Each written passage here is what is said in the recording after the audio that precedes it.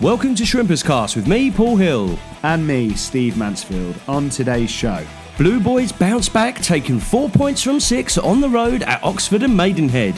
It's new boys to the rescue as Crowther and Waldron secure Southend's first win in five games. I sit down with former Southend legend Mark Rawle to talk all things Shrimpers. And we preview two tough tests at home against Aldershot and Altrincham.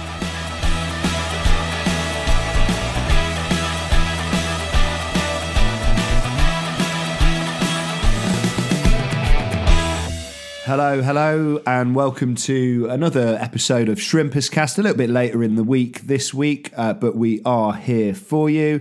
I'm sat down with Paul Hill. How are you doing, Paul? All the better for seeing you, Squire. How are you? Yeah, not too bad. A little bit of the old lurgy. Um, yeah, so not feeling 100%, but I'm I'm okay. I'm okay. Got the sniffles. Got the sniffles. Can't complain. Can't complain. And Southend fans won't be complaining, will they? What a turnaround! So last week we were in the doldrums, looking at um, you know the the bottom of the table, the relegation zone, and, and it wasn't very positive. Uh, but they went away uh, two games this week: Oxford City, Maidenhead away. Uh, drew the first nil nil and then got finally got that win, first win in five games, I think. Love and it.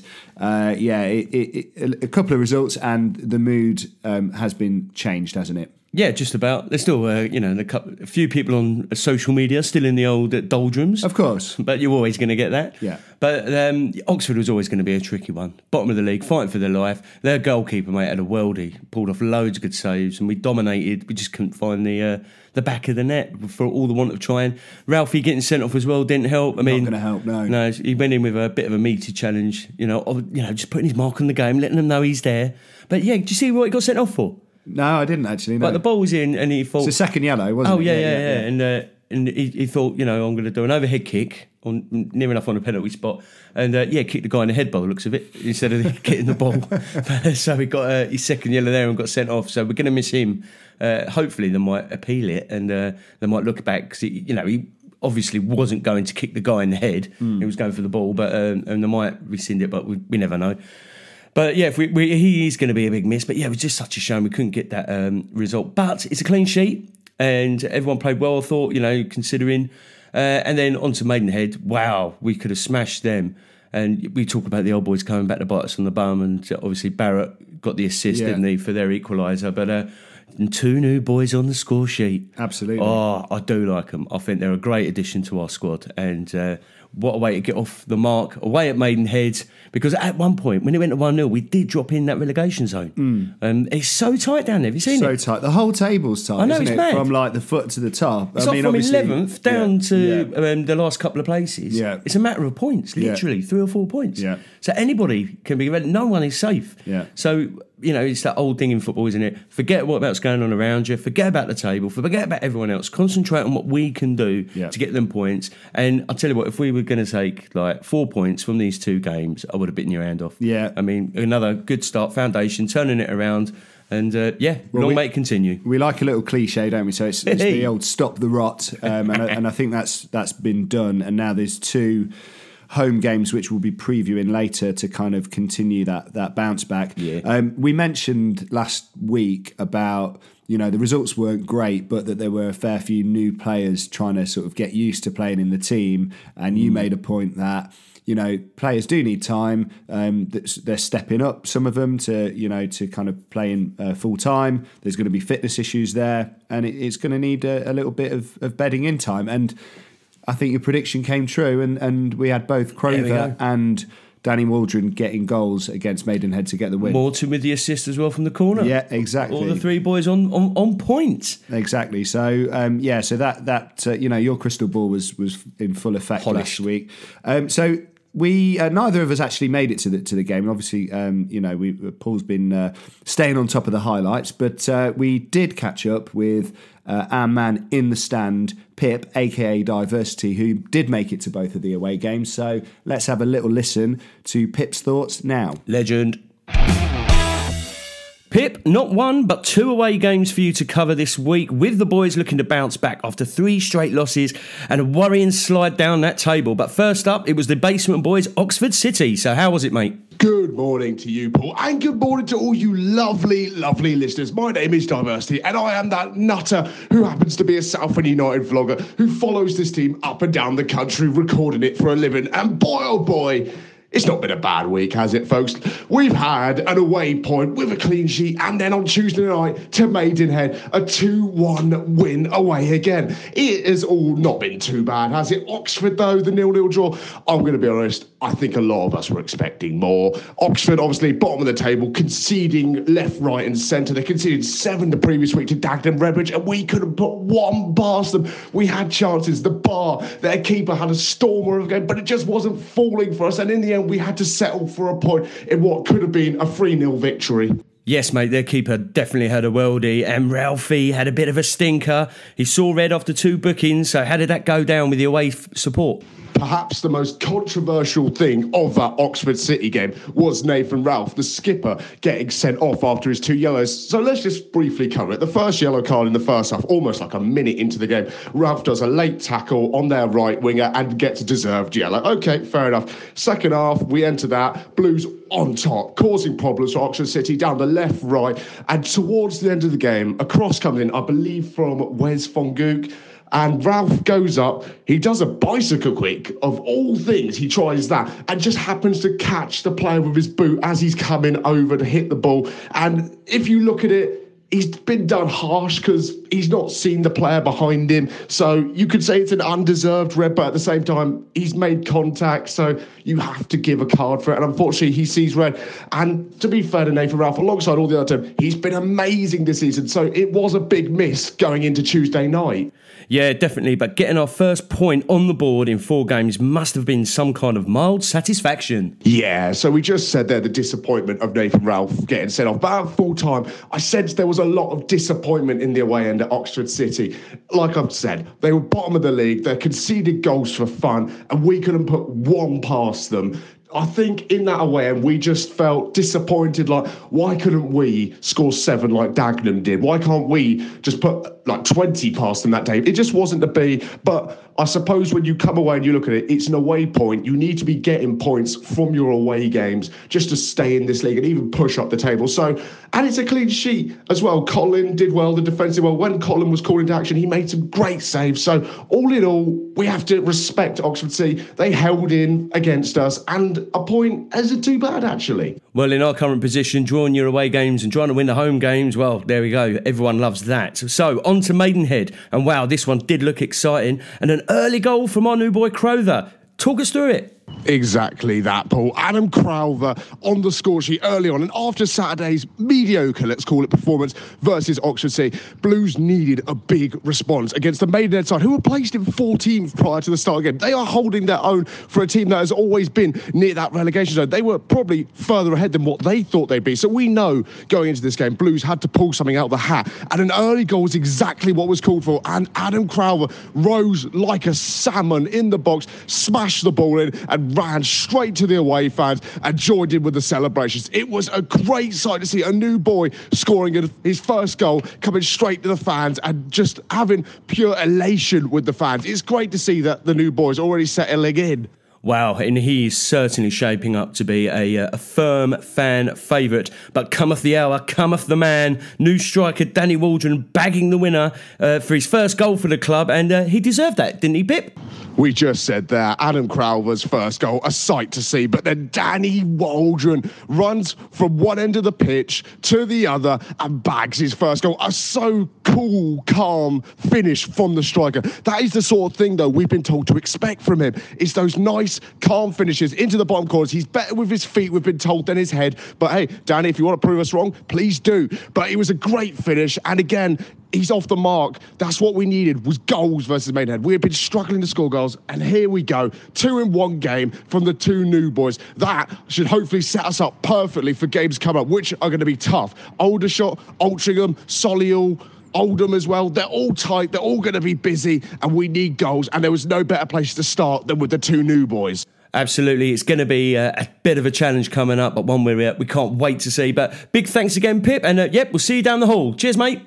Paul, it's been an absolute pleasure. Thank you for having me on again. And thank you to all of you for listening to me for the last couple of years. If you've made it through, thank you so much. And I will see you all on Saturday, or if not in the near future, for some more blues content. Up the blues!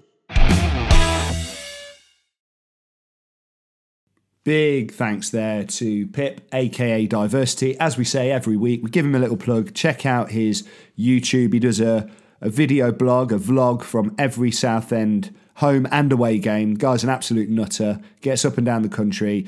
Uh, and uh, yeah, he's on YouTube, and his handle is Diversity, but instead of an I, it's a one. So Diversity with a one at the start. Paul, you've been out and about, you've been busy again and uh, you've you've ticked off another one of your, your bucket your bucket list items, meeting another one of your heroes.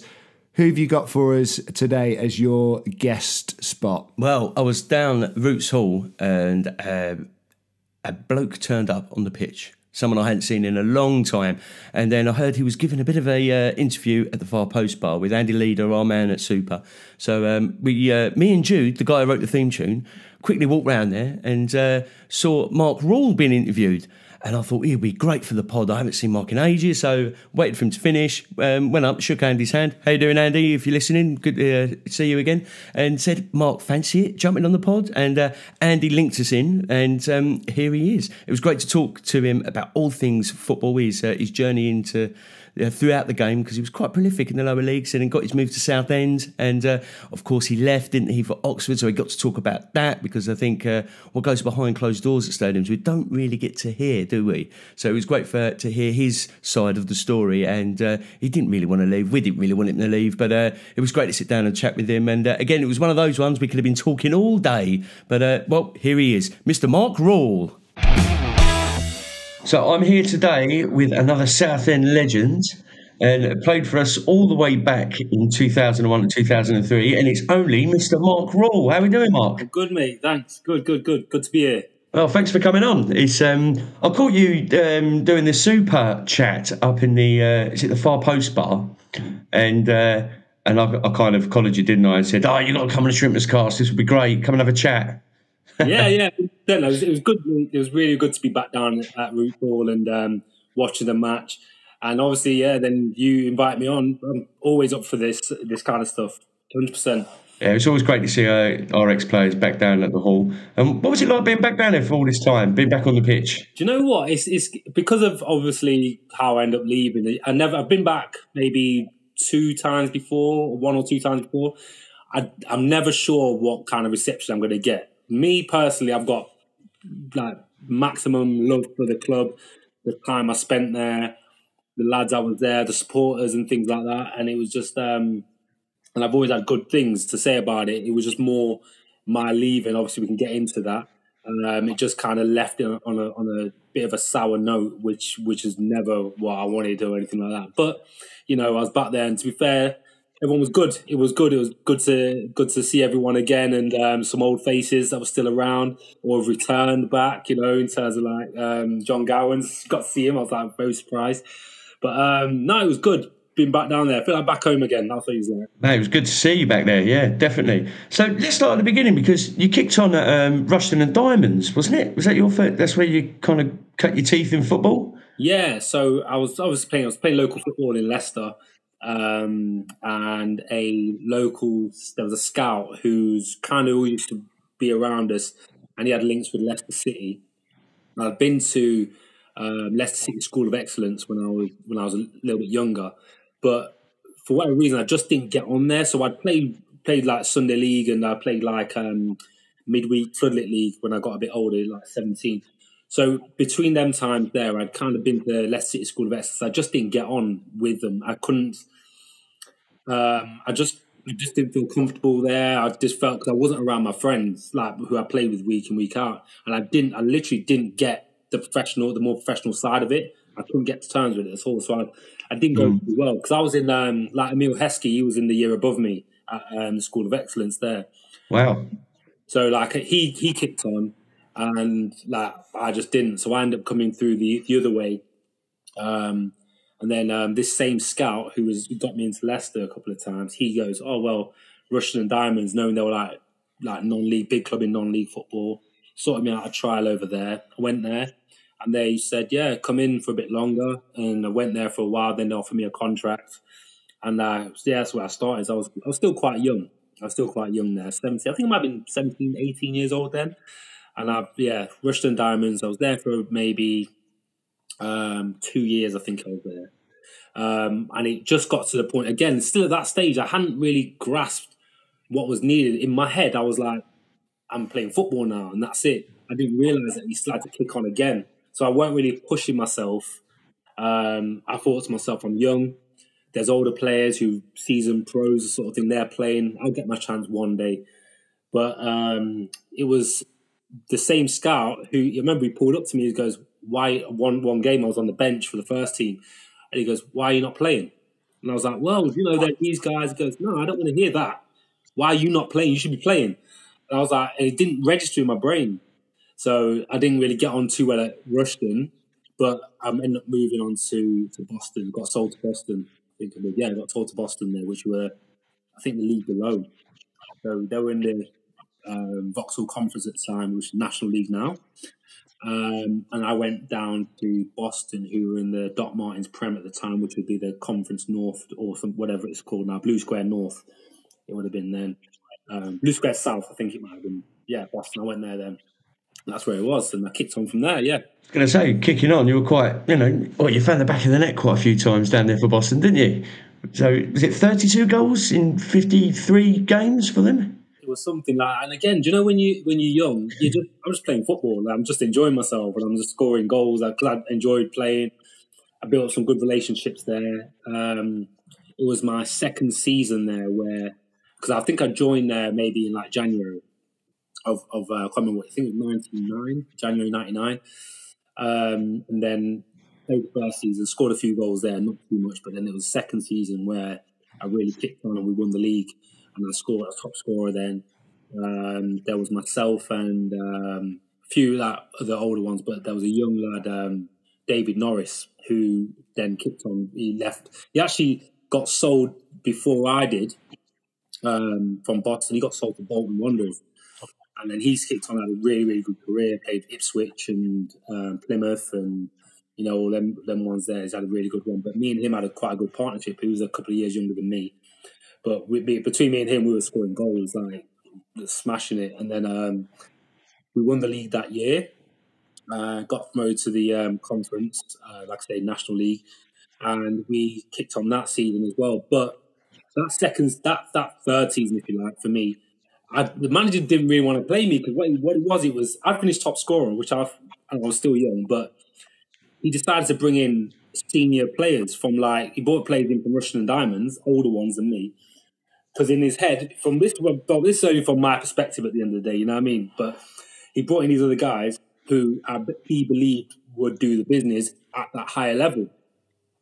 He kind of struggled a bit. I was on the bench. I'd come off the bench. I'd score, and then I'd you know, then I'd eventually got me to let me play, and I, I was up top with um, Ken Charlery, um, legend, absolute legend. Ken, he. I remember used to watch him on TV. Um, playing for the likes of like Notts County, Peterborough, not Notts County, sorry, Peterborough, and and other other clubs around lower in the Championship and League One sort of thing. But yeah, he was an absolute legend, and I learned a lot off of him, you know, in terms of how to play and things like that. So, and I had a quite a good season that that final season. I ended up scoring. Um, I think I finished that seat that before I got sold to Southend. I think I got I scored about fifteen. I can't remember something like that. That's mainly from what I was from on the bench, not many many starts. And then um, I actually I bumped into um, oh, what's the Ian Ian is it Benjamin?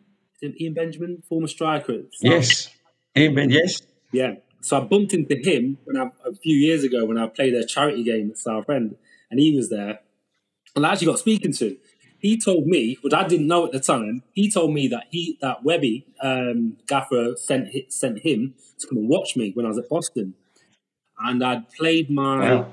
I played a game. He, he, he, I think he watched a couple of games, or or Webby had been watching me for a couple of games um, or sending people. But he sent him down to watch me away at the Oval, which turned out to be one of my final games for, for Boston. So he'd watched the game. And when I tell you this is crazy how, how it happened, I'll, I'll, I'll try and go through it as quickly as possible, but it's a mad story how it went. That's right. Take your time. Go for it. Okay, so at Boston, I'd, I'd, um, I had a bit of a falling out with, with Steve Evans, the manager, right? So basically, he he he'd owed me uh, my sign-on fee, some money, yeah, and I was meant to get my my final instalment of my sign-on fee, which was about fifteen hundred pound, two grand, or something like that. I was owed, but for about two months, he was saying to me every single week, Saturday, Tuesday, Thursday, Saturday, Tuesday, Thursday. I kept going to him, Where's my money? Have you got my money? You got my money? You must be paying me. He's like, I'll pay you on Tuesday, pay you Thursday, pay you Saturday, pay you, pay you, pay you. All the time, kept putting it off.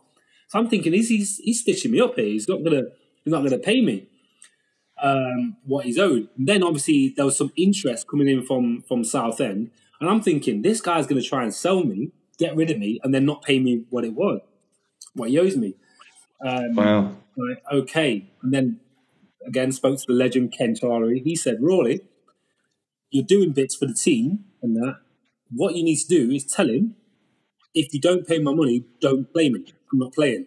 Like one of them ones. So I'd messaged Evans on like um I messaged him on like say the Thursday night or some Thursday or Friday. I said, listen, this has been going on for like nearly two months now. You keep fobbing me off. You owe me some money. You know you're supposed to be paying me. Um, if you don't pay me my, my money on Saturday or by Saturday, don't don't put me in the team. So then he's got he didn't reply to my, my text message. So I've gone and met the coach. Remember, we've travelled from Boston, picked me up from near Leicester, and we've drove south to Yeovil. I've got on the coach. The guy's blanked me all the way down. Got off on the service station, got back on the coach, blanked me all the way down. Got to Yeovil. I walked out. Joe, when you do the, the pre-walkout on the pitch, where you get the match programs, you arrive at the ground. I walked out on the pitch. I'm like looking, and I'm fuming now. I'm like, this guy's, you know, taking a taking a bit. So I've like gone. I'm on the pitch, and I've gone to walk off. I saw him walk onto the pitch. So I've walked up to him, and I've gone, "What's going on? Like, what's happening?" And he goes, "Oh, he goes, oh, so you're not playing then? No." And I goes, "No, I'm not playing. You you got my money?" He goes, "No." I goes, "I'm not playing then. Forget it." And he goes, "No, no, Rawley, just play." And I was like, "He goes, I'll get you later." I goes, "Nah, I'm not. Don't put me in." I goes, "I'm going into the change room, getting my bag, and I'm going." Sort of thing. I'm going. I'm sitting in the stands. He's chasing me, going, "No, no, wait a second, wait a second, Rawley." Um, I got to see the chairman. I goes, "Come on, let's go and see him now. Then me and you, let's go." He goes, "No, no, just just a second. I'll I'll, I'll sort it." He goes, "I promise you," because I was dead adamant I weren't playing. I goes, "I'm not playing," and he goes, "Look, Rawley, just get your kit on, do the warm up, and I'll sort it for you. I promise you." I goes, "All right." I've gone out and done the warm up, fuming by this time, and I've come back in, and there's a check hanging out my back pocket and my my thing. So I've saw the check, it's my right amount. I go, right, cool, I'll play. So I wasn't going to play this game at that point. So then I've gone out, gone and played the game. I think we lost like 2 1, but I've had a good game. I scored. Um, and then I, that was it. When I spoke to um, Ian at this charity match, he said he came to watch me at Yeovil. Webby sent me to watch, him, watch me at Yeovil. And I'm like, I wasn't going to play the game if you hadn't paid me the money. So you wouldn't have seen me play you know, and that could have really like, know, a sliding doors moment. Like, I probably wouldn't have played. You wouldn't have seen me. Webby's like, I've played, I've scored. Webby's gone to him and said, um, I say Webby, I mean the gaffer, the legend, the gaffer, by the way.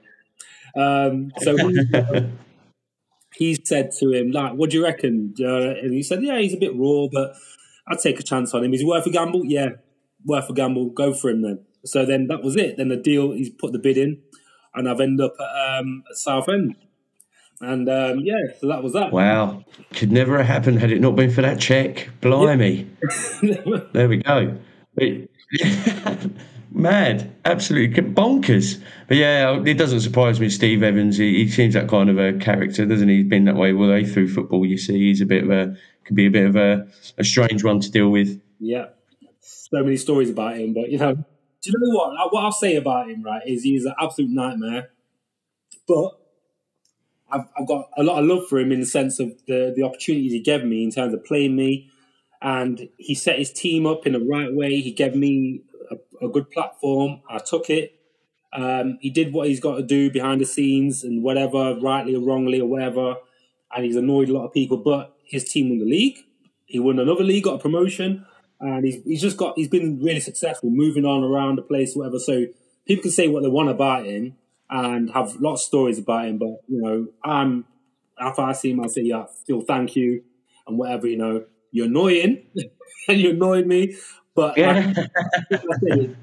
my experience with him really set me up for the game because you know you, I saw he's painted a picture of what it would be like. You know, characters I'd come up come up against or have to deal with sort of things. So you know, and I've and I've seen some characters the, through the game. I definitely have. Marvelous. Well, it, well, then it got you the move into Southend by the governor, the gaffer, Mr. David Webb. So, um, I mean, it, I was a bit too young for uh, when he took Southend uh, screaming up through the leagues back uh, in the early nineties, and uh, but I mean, what was he like to play for as a coach, as a manager? He's very, he's very no nonsense, very no nonsense. He basically told you what he wanted and what he expected, and, and told you to do it, and you basically did it, or you weren't playing. Um, um, but at the same time, it was cutthroat in, in one sense. But he'd pull you to the side and go, you know, don't do this, do more of this. And he was he took time with me, so gave me advice on on how to kind of play because there were certain things. I, I was I was quite raw. I didn't I didn't do the conventional like through the professional youth team system and going up and then promoted through. I didn't do all of that. I didn't do any youth teams like that. I just played. I played Sunday League football. Then I went into Rushden in a professional contract. So I missed that early basic nurturing, you know, basics in that. So I was kind of very, for a lot of I was very off the cuff. Um, my first touch wasn't the best. I had to really, really work on that. But that's stuff you would have picked up for, for a youth team than basics. I kind of skipped over that. But because I skipped over it and was doing well, I, I was scoring goals. I was a nuisance. I was quick.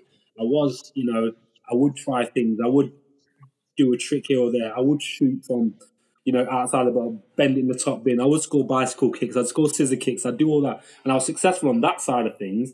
So it kind of overlooked like some of the some of the basics. But then when you get to that professional level, those basics really, really are uh, necessary, and that cuts, it puts you apart from from certain other people. So he did spend time with me, and you know, gave me some advice, told me to like you know calm down a little bit and take on. And I'd be, and again, when you go up to the higher level, you go up, you can't just run the pitch, you get caught offside. So he, he taught, he spoke, to me a little bit about holding my runs a lot more and bending them and whatever. So yeah, I got, uh, he, and again, it was he, the way he's, he's spoken uh, and the way he put it across to me was like, look, son, here you go. This is what you should do. This is what you need to go and do. And um, you can either listen to me, take on the advice, and or not. And what I really did like, and I've taken on myself in terms of coaching, when I saw, when he saw I was actually trying to do the things that he spoke to me about, he'd say, well done. I can see you're trying it, and I've got time for that. So good, good. That's that's a good thing. Um, you still need to work on it, but at least you're trying. You're not ignored me, and you've whatever. So I remember, and and you kind of went in, and if Webby's, if the gaffer's praising you about something, whatever it is, you kind of uh, kind of chest went up a little bit. Your confidence kind of grew because you kind of wanted to, you wanted to uh, impress him in that way. So you and and he he signed of I think when he came back in, obviously when he can't remember who was manager before him when I when I, when I, that second or third stint when he was there, but he started signing a lot of young players at that time. So you had the old old school ones, and I think he was trying to shift some of the older ones out and then bring the new, new lot in. So there was likes of um, I think Tess Bramble, there was Shane Wardley who was there before I before I got there. Then I came in. He was bringing um, Dave McSweeney through um, Leon Hunter, Leon Johnson. Um, he's bringing those lads all through. Mm. Then just after me, so Leon Cort, um, which is a, a good mate of mine. And um, yeah, me and Courtney. Um, with, the thing with me and Courtney, I'll tell you this: when I was at Boston, I was at Boston, and Courtney was, I think he was at Millwall, but Courtney had gone on loan to Forest Green for a period of time, and I ended up playing against Courtney when he was at Forest Green. Didn't know who he was and that, and then we played the game. And I swear, even to this day, he was my hardest opponent I come across. Right? We, he, kicked, he kicked lumps out of me. I kicked lumps out of him, and I was what, what, what was really testing was I was obviously quick, but and I all through my years when I was at Boston, I'd get on the shoulder of someone, spin them, and I'd just take off and I'd leave them in the dust. I'm doing the same thing to Courtney, and then this had this long leg just coming to scoot the ball away from me, take and I'd be I had never had that, and it was just an absolute battle. So I really had to think about how to how to how I can get around him. He really got me thinking more than I'd ever had done at that time. So it was a real, real battle in that game, and he stuck in my brain. I remember coming home speaking to my brother, saying, "I'm sure I played against that um, Carl Cort's brother. I'm sure that was him. He was, was centre half, and that is that was quite good and you know hot to." And then my second season, I think it was like pre-season. He's he's coming sat in the change room next to me, and we looked at each other and went, "Hey." He goes, "Yo, you're right."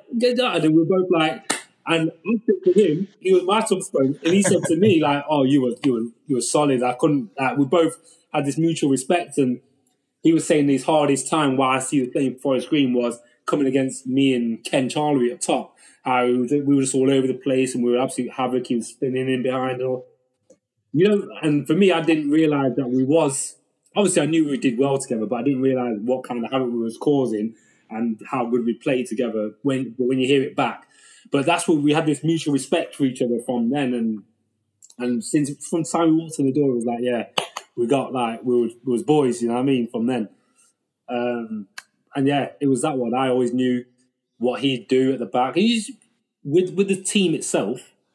We kind of all got to know each other, and we got really quite quite close. And I think with there's maybe three clubs where I've been at and I've had good times where I maybe I think as a unit, we kind of came together. We weren't obviously too successful as a team as a Southend, but what we did achieve with the young players that we had in the team and you know the camaraderie that we kind of had together, I think it was quite it was really special because I I'm still close with I'm, I'm, still close with Tess. I will still speak to Courtney now, now, and again, checking on him. And even if the ones who I don't, like Jay Smith as well, good lad, good good mate as well. Um, the other lads who I probably don't speak to as much, if I do come across them somewhere around the circuit, back at Southend or wherever, it's love. You know what I mean? I saw bumped I managed to bump into Kev, Kev Maher at the um, mm. at the mm. game the other day. And I, I, I told him, yeah. I told him when I told him straight to his face, I goes, I didn't I, I said to him, Kev, I um it wasn't until I left Southend that I appreciated how good you were when when I was there because the things that you were doing in the middle of the park, bringing balls down, holding people off, and just playing simple or clipping over the top for runs, I've kind of gone away expecting that's just normal. But then I'm seeing that there's a lot of players who can't do what you were doing, and I'm like, just just clip it over the top. I'm running. And I'm like, well, fuck it, only Kev, only Kev can do it. Same things only Kev can do this kind of stuff.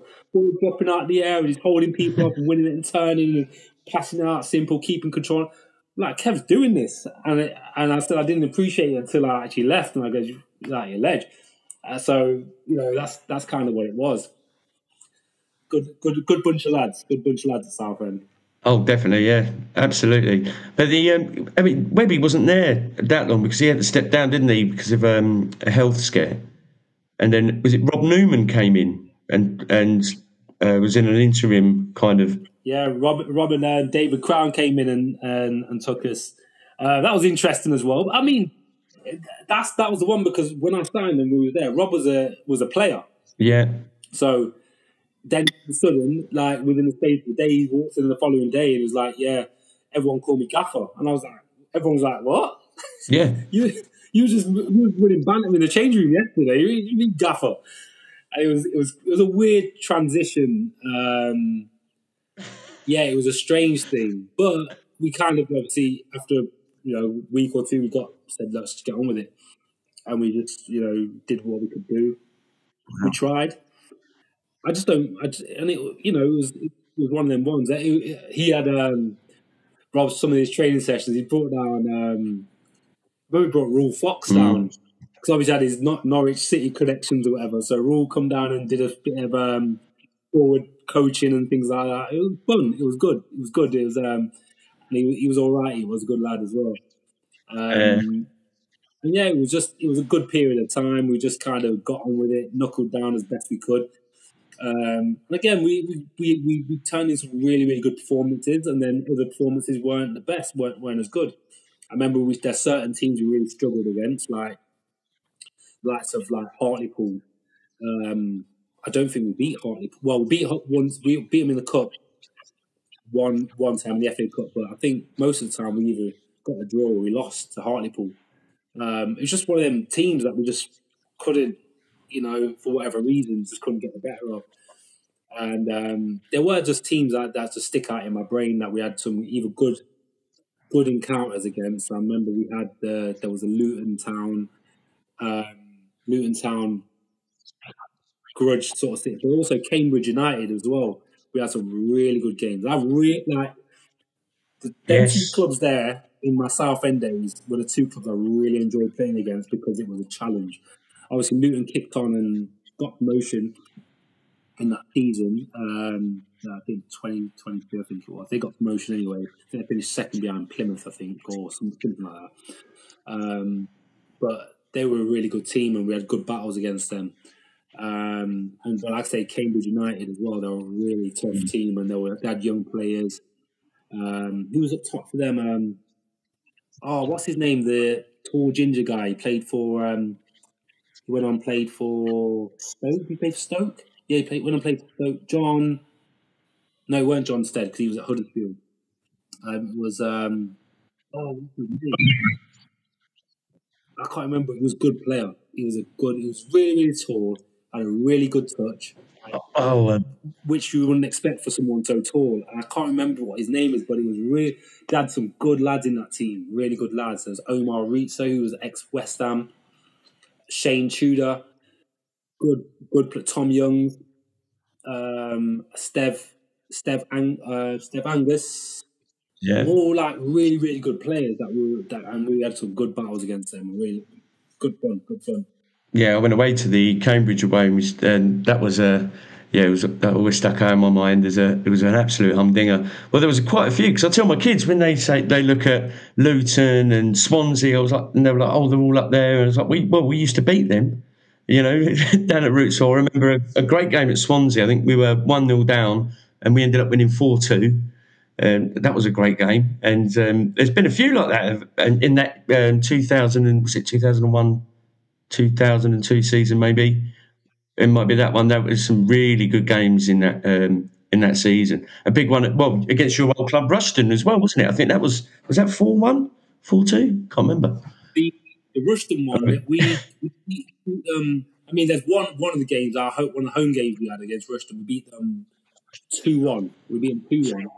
But I was saying 2-1. Um, we beat we beat them, but it was a I was saying it was a, a significant game for me because it was my former club, um, and pretty much the manager uh, Brian Talbot, who'd signed me at Rushden, sort of thing. But he when he when he sold me, he said, "What was his words?" He said something like, "He told Steve Evans when he sold me, he goes." Yeah, you can have him. He'll, he's never going to make it in the league. He'll never play in the league, sort of thing. He's not. He's not good enough. And but then I, he's told me that. Uh, the thing is, this is what Evans told me. I don't know if Talbot actually said that, but I was fired up for years waiting for this opportunity to play against him again. I think he probably did because he pretty much said similar stuff to my face as well in front of people. Quite embarrassing sometimes, but but then when I, we played there, I think after a few minutes I'd score. I scored the first goal, and I was buzzing about that. And then I think they no we then Sterling scored. Damon Searle scored a fantastic volley from outside the box. I beat the keeper, dipping. Oh volley. yes.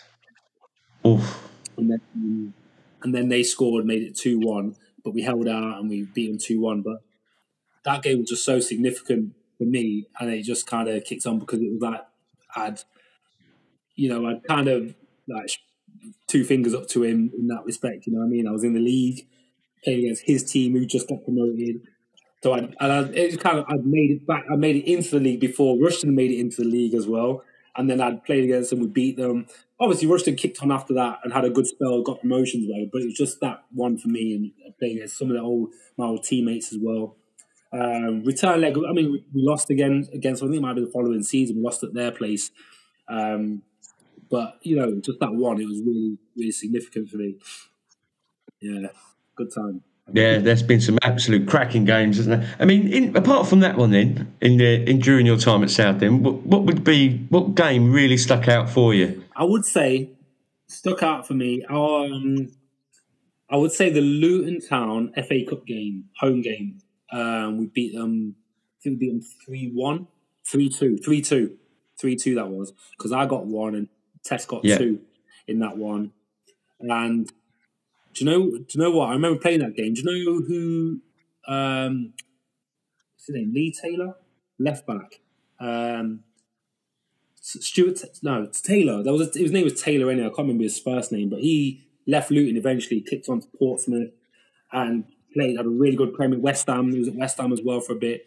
Had a really good career afterwards. But I remember playing that game, and I watched videos back from that game. He was unreal. Like he didn't. I think he gave the ball away once literally clipping balls down the channel, passing balls inside, delivering crosses. He gave the ball away once in that whole game. I was like, mate, what a player. Look, then he kicked on and had a good career. But that game there, the, the home one, I'd um we had a bit of tension between us because I think we played them in the league at home. I can't remember if we won that one or whatever, but then we played them at their place and it was a I got sent off in that game. It was for something I didn't even do. I was fuming about it. Still irks me to this day. Um, got stripped. Um, I, tri- I basically I, I, I've gone on a run, gone past a couple of players, and I was pushing on down through the midfield, and a guy just came out and just took me out from behind, and I've like gone on the floor. Is that really took my ankle, and I've gone down, rolled, and in my brain I was thinking, oh, it's a free kick. The guy's gonna get booked for that because he's cleaned me out and I've rolled and I've like got up on my knees and I saw the game still going on. I've gone to the ref. I'm like, ref, like, what's going on? And he goes, no, no, no, play on. You, you, you, you dived or something like that. So I've gone like, I've gone off, like, gone on the floor, gone, fucking hell, like one of them ones, just lay on the floor. As I've gone like on the floor, my hands over my face, the guy, some one of their players ran tripped over my leg. Just tripped over my leg referees kind of saw it out of the corner of his eye, and he assumed I'd kicked out of this guy. I'd not even seen him. I've just gone like, just gone, oh no, like ha- hands over my face, and just got rolled on the floor, like say, like in frustration that I'd not got the free kick. And some guys tripped over my leg. Didn't even see him. I've looked up and go, what was that? Sort of thing. Referees come over, card straight out, red card. You kicked him. You've kicked him. I'm like, Oh, I didn't. I didn't watch the videos. This is long before VAR was was on. No VAR. Um, so yeah, I got taken off, but I was very annoyed about that. But what was even more annoying is the fact that when I've got in the changing room, because this is where where Webby had just he was he was still manager, but he was he that's when he just was sick, and Rob had taken the game like in the interim period just until he was confirmed. So we'd taken that game. So I've gone back in the change room afterwards, and obviously, in my opinion, I'd been wrongly sent off. I hadn't done anything wrong, so I kind of was there. Rob's pulled me up like in front of the lads at the end of the game and saying, "Oh, you've let the team down, this, this, and this." And I'm like, I didn't do anything. I genuinely didn't. Like, so then what he's done is he's obviously Webby's shouted him and said, "What's gone on?" He's gone and fed back to Webby that Rawley's gone and kicked a lad, got himself sent off, really put us into the caution, whatever. So Webby's obviously said, "Get him in tomorrow, run him, run him tomorrow." So I've had to go back in, train on Sunday, do extra running and whatever. Monday, I got called into the office, and then Rob sat there going, "So basically, what you got, to say for yourself." One of them ones really had me up, and I was like, I was really annoyed about it because that because that wasn't what had happened. I didn't genuinely. I goes, look, watch the video back. You'll see I've gone down, but on the video it's just panned just at the wrong time, so you couldn't really see it. So it was a bit, oh. bit frustrating. So you've got the gaffer is away, who's ill, didn't see anything, just having this report from Rob, and I'm pleading my innocence and everything. So it was a bit of a. So me and Rob had a little bit like I wasn't. We had that little bit of you know irkiness about it from that, but that was kind of spilled over until we got to the FA Cup game. So I'm like, right, I'm on it now because of this, this, and this. So, so yeah, then we like I said, we I scored, we won the game, and it was um, that was a good one. But so that one sticks out in my mind. But also, we had a home game against uh, Cambridge as well, and I think that might have been like a three-two kind of thing as well. It was um, it was a tight game, similar situation. They scored, we scored, they scored two, then we came back one three two, something like that. It was a like I say, a real ding dong kind of affair. But yeah, they're a couple of games for me. Nice, brilliant stuff. But then, well, Rob left, didn't he? And then you had um, Steve Wignall came in. And uh, things really kind of changed a bit there when Steve moved in because uh, then you moved out, didn't you? To um, and it's well documented where you went. You end up going to um, signing for Oxford, but uh, you didn't really want to leave, did you? No, absolutely not. Absolutely not. It was it was it was strange because I finished the season top goal scorer. I'd done really well that season. Obviously, uh, Wignall's come in for the last few games of the season, and I, and I remember it was like maybe the last the last home game we, we had. I scored two. At, I scored two at Talk against Torquay. Um, had a really good game as well. So then you get to the end of the season, contracts are up for certain players. I was one of them, and this is where you get called in. Literally, you, you sat at the training ground you're getting called in by the manager to go and have these talks about what they're looking to do next year with you. So I'm at the training ground thinking, right, I've finished top goal scorer. Um, yeah, he's gonna. I've, I've because yeah, bear in mind when I first signed, Webby stuck me on a, I think a two and a half year deal. Yeah, so I signed two and a half years. So I signed in January, so it was the end of that season, then two years after that. When um when he signed like Tess, he signed Tess only on a one and a half year, so the end of that season, one more season, right? So obviously Tess's contract ended before. At the end of the first season, our second season, I think it was my second season, his second season, Tess finished top scorer, right? Cool. Tess got a new deal, and I think his deal was like maybe double my deal, but they didn't want to move on my thing until the end of my contract. So I'm like, right, okay, he's finished top scorer, he's got a better deal cool. I'll ride it out. I'll be, you know, whatever. I've proved I can do do it at this level. I've top scored and whatever. Here we go. Contract negotiations, or he's what he's going to offer me. I walked in the door and he's gone. Right, Rory. What we're going to do is we're going to. Um, I'm going to give you another year. I'm going to keep you on the same, exactly the same money that you were on from the season before. And I said, wait, I was already on that. I've just finished top scorer surely, you know, in line with what everybody else, anyone else who finished top scorer get has got an increase. Even, you know, I'm not asking even for to double it or nothing. I'm not asking. Realistically, I would have would have taken like an extra hundred, like an extra hundred quid a month. No, a, a week. Sorry, on top of what it was, which was still way below like the top earners at the club or whatever it was. It was like hundred quid. Um, so I said, um, I like, what, like, not really sure why that's the case. So then he said, um, he's going, no, that's why I'm offering you. And I goes, all right, I'm going to have to think about this, you know. At that stage, when I say I think about it, no other clubs were coming in for me, or no other interest anywhere else. I, I didn't want to go anywhere. So I spoke to him again, uh, tried to speak to him, he was like, no, don't want to speak to you, take it or leave it, sort of thing. Then my agents tried to call him, um, I spoke to Stuart. I think Stewart Robson was there at the time as well as, as I spoke to him, and he goes, "No, it's a bit, bit, it's a bit harsh that is, Rory, but I'll have a word with him." So he had a word. My agent tried to have a word with him. He was like, "No, no, no, that's it. Give me a deadline. Said you got to let me know. Like you got two weeks to let me know." So in that time, so this is what was crazy. In that time, I've had to go and do like a um, uh, as part of my duties as a Southend player, I had to go and do like a school visit, so like a player appearance somewhere, somewhere in Southend. So I went to a school, like it was a, a fete or something like that. So I've gone in doing an appearance, me and one of the lads, and it just so happened that um, Ron Martin, I think his his younger, his grandchild or his kid went to this school. So I've gone in there. he's seen me and said he come up to me, he's oh Rawley, like how you doing, Mark? And this that shook hands and we spoke. He goes, I understand there's a bit of an issue with the contract. What's what's happening? What's the what's the what's the hold up? And I said, well, I explained to him, look, this is what it was. Because I'm not even asking for more, like much more, just like 100 quid. He goes, is that it? And I goes, yeah, like not, not nothing. He goes, all right, leave it with me. I'll go and have a word. So it must have been like a day or two later. The phone rings. Mr. Wignall on the phone. He's gone, how dare you go try and go over my head? I've told you what it is. He's effing and blind on the phone to me. I've told you what the deal is. Don't you ever try to go over my head again. Look, I didn't take this deal away from you. This, this, and this. It is what it is. You've got until Wednesday to make up your mind. That's the deal. Don't you ever go over my head again. Fuming, like scream down the phone. I'm going, listen, that wasn't. I'm not trying to explain what I just said to you. That's what it was. But then, basically, I've got. I had a bit of interest. I think um, Lincoln City shouted me. weren't so. I think um, who was the other one? Um, Ch- Chester City. More right was it Chester City? They he shouted me, and I was like, not really feeling it. I'm just what you're offering me isn't worth it. Leave me leaving Southend. I'm able to stay where I am. Literally on the day, the Wednesday when I was due to go in, say I was supposed to be in the club to go and sign the contract at like eleven o'clock.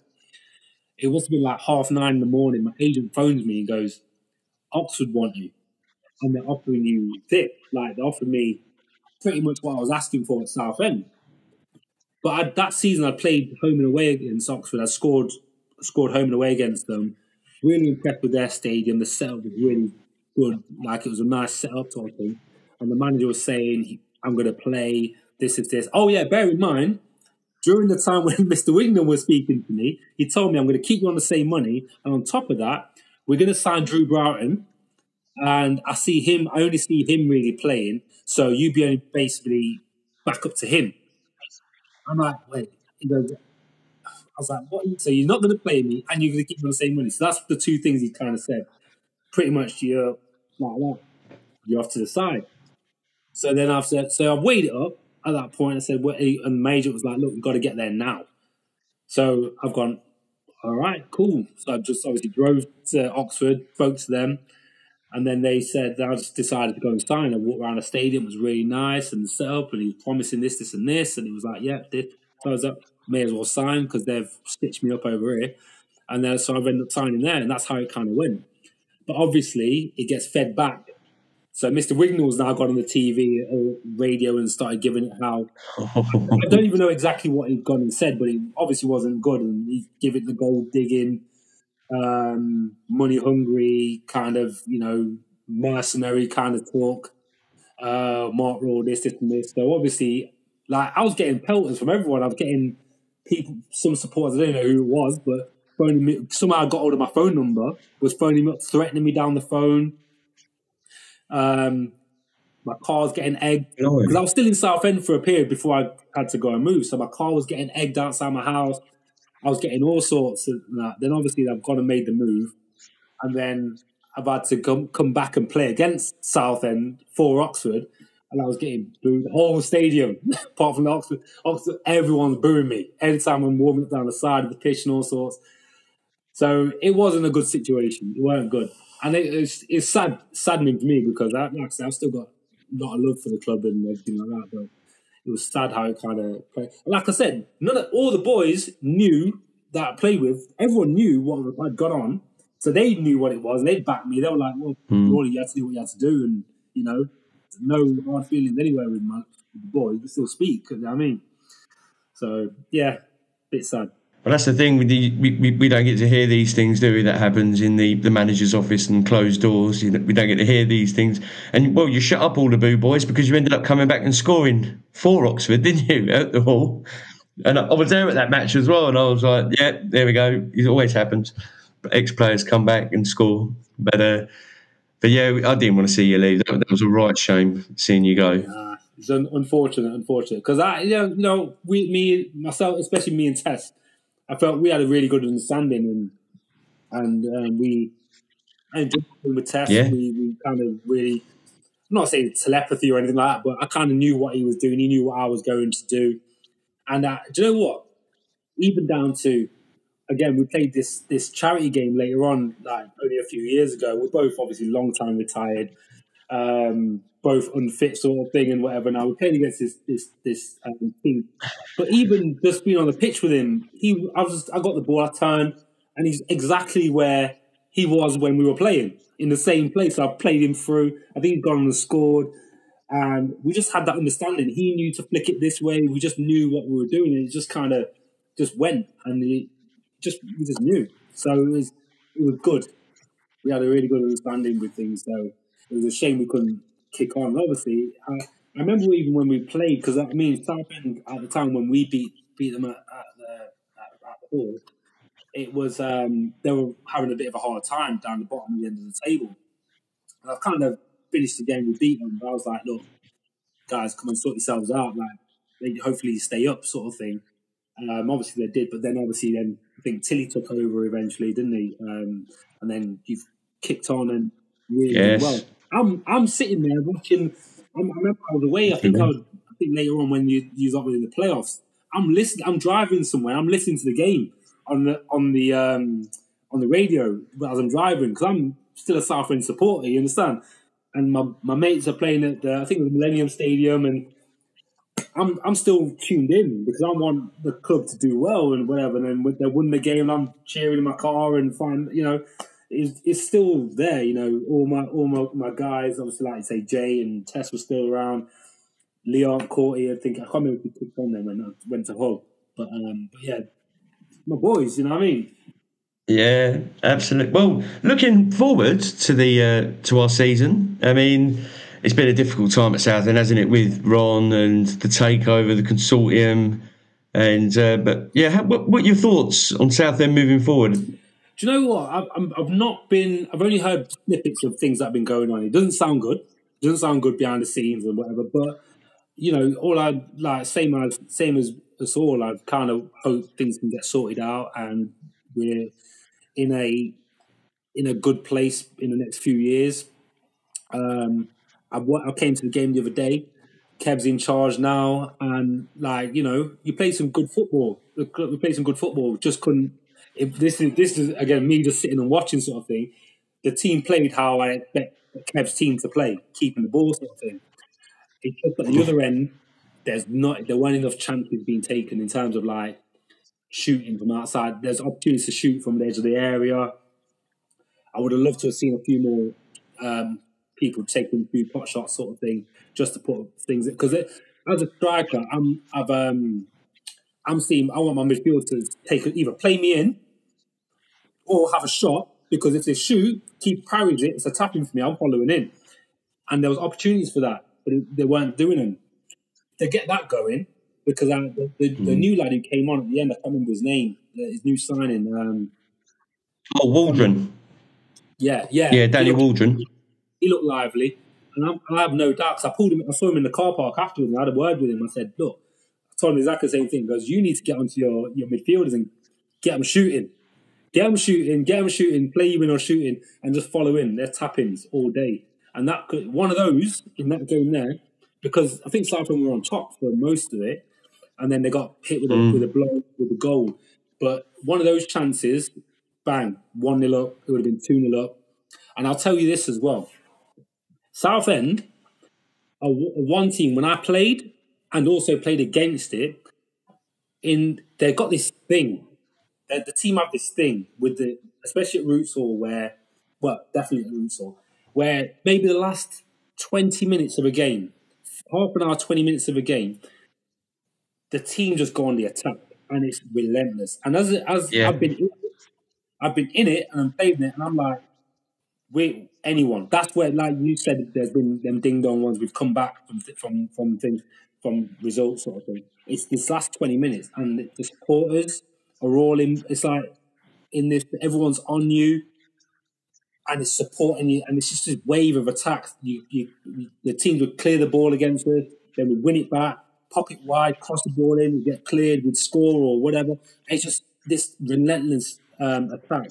But playing against it, like when I when we won it, um, when I came there for Oxford and we won, but we had with backs against the wall for the last twenty minutes, and it's this thing you just can't get out, can't get out, can't get out, and it's definitely like the supporters on on you, and it's this energy, this weird energy, this burst of energy that the team has and the supporters give. I don't know if anybody else has noticed it or explained it to you, but it's just, and I've not seen it that often with the places where I played, but it's definitely Roots Hall that have this wave, and it's always the last 20 minutes. And even the game the other day where they lost, but the last 15 minutes of the game, it was wave after wave after wave, and they always needed one of them chances to break, and it, they probably would have won the game. It's just a weird thing. So you know, Yeah. you don't need to hold on to that as a, as a club, as a supporter. Yeah, that's it. The magic of the hall. Hundred percent, it's there. Like, don't let Yeah. anybody tell you different. It's there. That's it. Well, now we're not leaving Roots Hall at all, which is good because there was talk of us. Going, obviously, Ron wanted to build his stadium over Fossett's Farm, but I love Roots Hall. I think we all love Roots Hall. It's a it's a special ground, and uh, yeah, hopefully we'll have better games to come. Screaming up the league. My prediction is we're going to win the title next season. That's what I've been saying. I wouldn't even bet against it because again, it's one of them ones where where we are where like what from what I saw, all it takes is a little bit, little bit of firming up, and then just someone Because again, who did you have? Um, Freddie Eastwood. Years gone by, where Yeah. you struggle, then you got the like of him coming in and him just taking it and just goal, goals, goal, and then flying up the league and whatever. You need something like that, and it might be that Mr. Waldron, it might be him, it might be someone like that who just kind of starts netting, and then you it's, and then just seal it, seal it up at the back, and you're good to go. Hard to beat and scores goals. That's what you need. Can happen. Definitely, I can see it. Yeah. Definitely, definitely, hundred percent. And uh, and this league is so tight as well. I mean, when you look who's going up and who could come down, I don't think there's going to be much change to the league. And you know, you put three or four wins together, and you're right up there. But then again, you lose three or four, and you're right down the other end, aren't you? So yeah, you just need that one little guy, that one uh, like talisman, someone like Eastwood. Could be Waldron as, as well. He looks really sharp. So yeah, fingers crossed. Oh yeah, constant Leon, Leon Constantine as well. He he did really well for you guys as well. Leon, yes, Leon Constantine. We'll have to try and get him on. Yeah, he was he was fantastic. See, he, I never played with him, but I played against him when he because when I was there, he was he was at Orient when I was at Southend, and he always did well against us for Orient. But over the years, we kind of got speaking like we're good good mates now. Like on um, we speak over on online and when we meet up certain times. But he's a good guy, man. Uh, Leon, he's a good guy. Scored some great goals as well for us as well. Yeah, not bad at all. Not bad at all. But uh, well, time's against us, Mark. Um, we're gonna. Well, thanks for coming on today and having a good chat with us, all things Southend United. It's been um, a pleasure chatting with you, and we'll have to. Uh, we'll get you on again. Fantastic. Cheers, Mark. All the best. Cheers, mate. Massive thanks there to Mark Rawle uh, for coming on the show, and big thanks to you, Paul, for sorting it out. No, no worries. Again, thanks, Mark. It was uh, what a chat that was. I mean, really in depth and insightful from a you know a great player. I thought for uh, for us back in the uh, early two thousands. And uh, what really got me was the Steve Wignall part. Because, like we say, we never know what goes on between players and managers, and then you know Steve throws his toys out the pram, saying he's gone above his head and all of this stuff. But uh, you know, Mark didn't want to leave. It was a great play, top scorer, and you know everyone else getting contracts around him, bringing in Drew Broughton, and you know people do as a player you do face these challenges in there, but you know to let Mark go in that way, I thought was you know pretty poor form. Well, great for our listeners to be able to hear that. You know, we're pulling that curtain back, aren't we? It's Just kind a of bit. showing people the, the backstage, behind closed doors stuff, and where you know where the egos and the personalities and all those Yeah. all those clashes happen. So great stuff, and, and big thanks for that. Uh, we'll be back shortly. We're just going to take a little break, but we'll be back in a moment with Paul's previews. Bosh. Now it's time for everyone's favourite part of the show. Paul's previews. Paul, two home games, Yes, two tricky games. yes. starting out on Saturday at Roots Hall against Aldershot. Yeah. What are you thinking? Well, I'm thinking, considering the last two results, we're building momentum now. Confidence should be picking up quite a bit, and we should go and attack these two games. Because when you look at our last five, including the two results we just had, we've now won one, drew one, lost three. We've got them two goals. Hooray. But we've only conceded six, so we're not conceding too badly. Our home form really needs to pick up and improve because in our last five, we've only won one, we've drawn nil, lost to four, scoring four, conceding six. So now is the time to turn that around. And when we look at Aldershot, I mean, you know, they're up there for a reason. You know, they've got a, a bit of a forward who can bang in goals, but I'll tell you a bit about him later. But their last five, they've won three, drawn one, lost the one, scoring eight, conceding nine. But their away form is really interesting. They've only won two, they've lost, drew one, sorry, lost two, scoring 11, conceding 12. And yeah, their away form isn't great. Pretty evens though on the goals conceded. So they Yeah, so they do ship them, they do score them. If we can keep them quiet, which I think we can do. There's no reason why we can't. And now we've got better like Waldron, and Crowther. Um, Harry now needs a goal. Wouldn't surprise me if Sandat pops one with a cheeky one. The midfield seems to be shooting a lot more now. So, you know, there are goals coming for us, I feel. So this could be a really good game for us to really turn this around, uh, our home form around. So who's their uh, who's their danger man? Lorent Tolaj with 15. Okay. So he, he knows where the goal is, and they do have an extra shrimper there as well. I mean, I think we mentioned him last time when we covered Aldershot, Mr. Stuart O'Keefe, the journeyman. Uh, but, you know, I, I'm not really worried about Aldershot, to be honest. Uh, you know, we're picking it up now. We're buzzing from the Maidenhead victory. I think we've got to take that in to the Aldershot game. And uh, yeah, hit the ground running. Let's go. Well, it's it's kind of high pressure now, isn't it? It- Like we were saying earlier, the table's so tight. A little slip here and a, or a win there just makes such a massive difference. So um, high pressure, and uh, they'll be going into Aldershot, hoping to get the three points, and then immediately after on Tuesday, back to that sort of National League uh, Saturday, Tuesday, Saturday, Tuesday swing. Um, we have Altrincham coming to Roots Hall, so another home game against another team that are significantly higher in the table than Southend. It's fair to say at the minute, sort of more mid-table.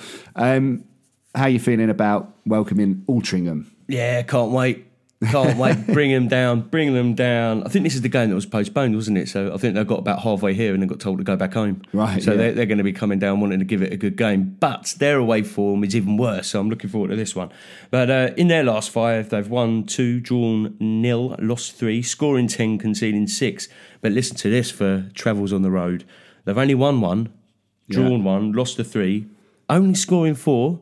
But they've only conceded seven, so not not too many. So they probably park the bus when they go away. I think it's going to be one of those ones, yeah, Yeah. where they're going to come here, stick every man and his dog behind the ball, Yeah. and try and catch us on the break. But uh, like I just said, I mean, if we can get a result against Altrincham, take that in. Uh, sorry, uh, Aldershot, take that on into Altrincham. I can't see any reason why again we can't be picking up points from these two games. Yeah. and uh, well, they do have a bit of a danger man as well. Yeah, who's that? Chris Conn-Clarke, Okay, seventeen. I know. Prolific. Prolific, yeah. But we've got Danny Waldron. Do you know what I mean? So, and Danny's going to score probably just as, if not more, He's gonna go on a run. during his per season during his time for Yeah. Southend, I'm sure. And uh, of course, our ex man Dan Mooney is there, so he's going to be coming back to the hall, obviously with a you know bit between his teeth, maybe something to prove. Uh, and we know, you know, he has got flashes of quality. So, you know, there's a couple of issues there. But again, uh, no reason why we can't, uh, you know, deal with all of that. Uh, we need to be positive going into these two games. Um, you know, there's going to be a lot going on around us. Obviously, it's so tight, isn't it? Yeah. So we just need all guns firing, and uh, yeah, we're going to be all right. Well, it's it's that situation where six points would be absolutely massive on the positive, and Yeah. you know zero points from these games would be Oh, we'll be back down there again. Yeah, exactly, Yeah. catastrophe. So again, you know, high pressure. Uh, so let's hope uh, next week we're having a, another positive chat.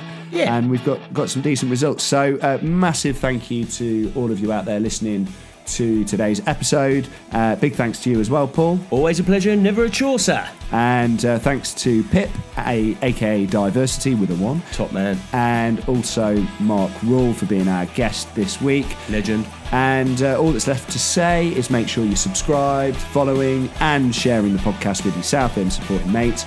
We shall see you next week. And that's it for now. Up the blues. Up the blues.